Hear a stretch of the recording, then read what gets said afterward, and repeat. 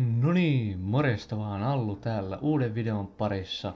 Tässä taustalla pyörii pientä Squad Battles gameplaytä, mutta nyt tota, mä käsittelen läpi vähän eilisiä otteluita, eli eilen pelattiin tosiaan kolme ottelua, Egypti, Uruguay, Marokko, Iran ja Portugali, Espanja.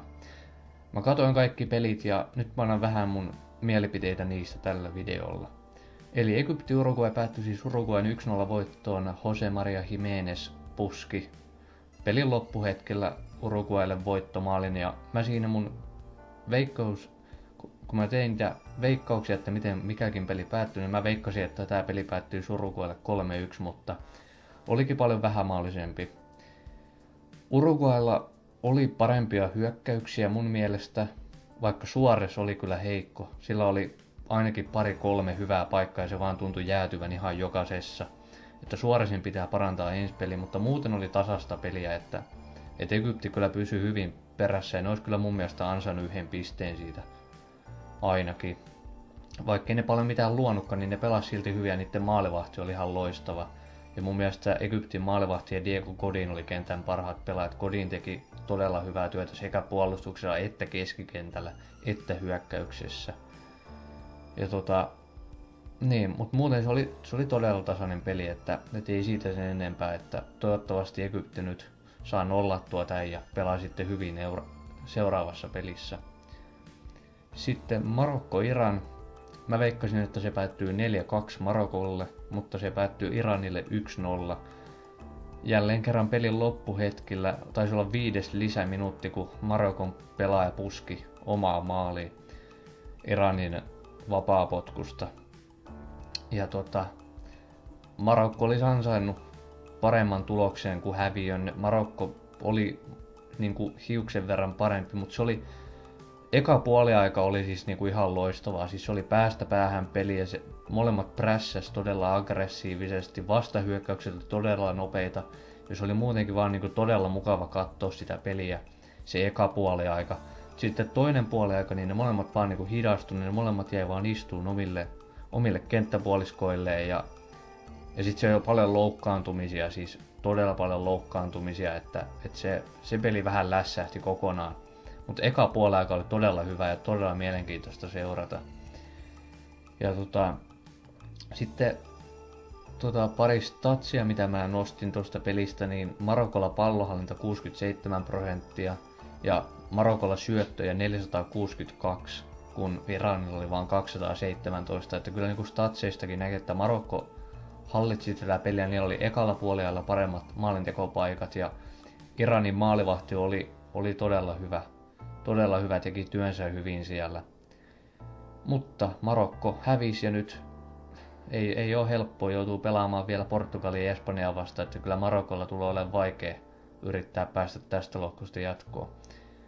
Mutta sitten otetaan vielä tuo viimeinen peli, eli Portugali Espanja, joka mun veikkaus oli, että Espanja voittaa 2-0. No, peli päättyi 3-3 tasapeliin.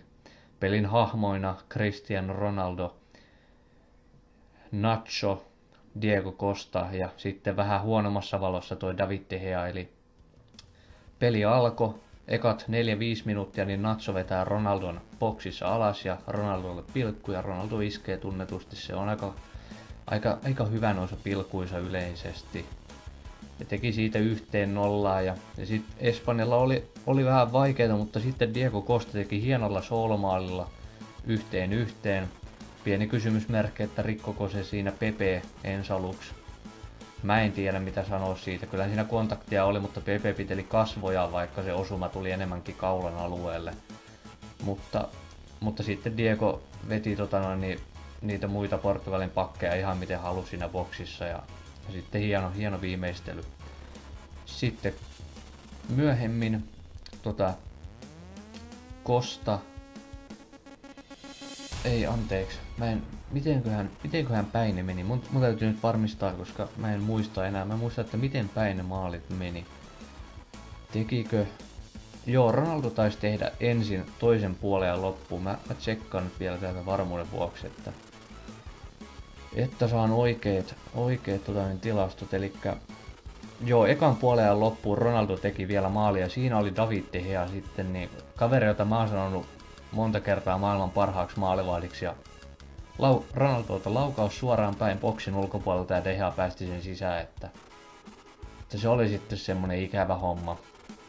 Mutta sitten, sitten tuota Diego Costa tasotti, tasotti tota noin niin hyvä pusku maalin edestä, ei oikein Patriciolla mitään tehtävää. Ja sitten kolme minuuttia sen jälkeen niin Nacho teki varmaan yhden turnauksen hienoimmista maaleista upea vetoboksin ulkopuolelta. Mutta niin, sitten vielä Ronaldo pääsi lopussa vetää vaparia ja teki siitä itselleen hattutempoa. Siis oli hieno vapari ja muutenkin Ronaldo teki niistä paikoista mitä se sai. Ja jos statseja katsoo, niin Espanjalla pallonhallinta 62 prosenttia, Patriciolle torjunnat 2-0, syöttöjä Portugalilla 364 ja Espanjalla 722. Eli Espanja hallitsi sitä peliä, mutta puolusti heikosti, Dehea ei ollut hyvä ja ei sitten tuota, no, niin saanut kuitenkaan tarpeeksi montaa vaarallista paikkaa luotua, että, että hyvin Portugali piti ne loppujen lopuksi niin kuin siitä, että, että Espanja ei saanut vyörytettyä jatkuvasti sitä palloa sinne Portugalin boksiin, että mutta Espanja, niin jos mun jotain kritiikkiä pitää antaa, niin David De Gea oli ihan umpisurkea siis suoraan sanottuna. Ja sitten tota, Espanjan pitää vaan niinku luoda enemmän hyökkäyksiä, jos ne haluaa näissä kisoissa pärjätä. Mutta siinä on tällä, kaikki, tällä kertaa mä saan käytyä kaikki pelit läpi. Tänään neljä peliä luvassa. Mä tuun tekemään huomenna samanlaisen videossa. Mä käyn tänne päivän pelit läpi. Mutta kertokaa mitä, te, kertokaa mitä mieltä te olitte eilisistä peleistä. Mun mielestä oli viihdyttäviä pelejä, erityisesti tuo Portugali Espanja huipensi, huipensi päivä. Mutta me nähdään huomenna uuden jalkapalloanalyysin parissa. Eli se on mun puolesta huomiseen. Morjes.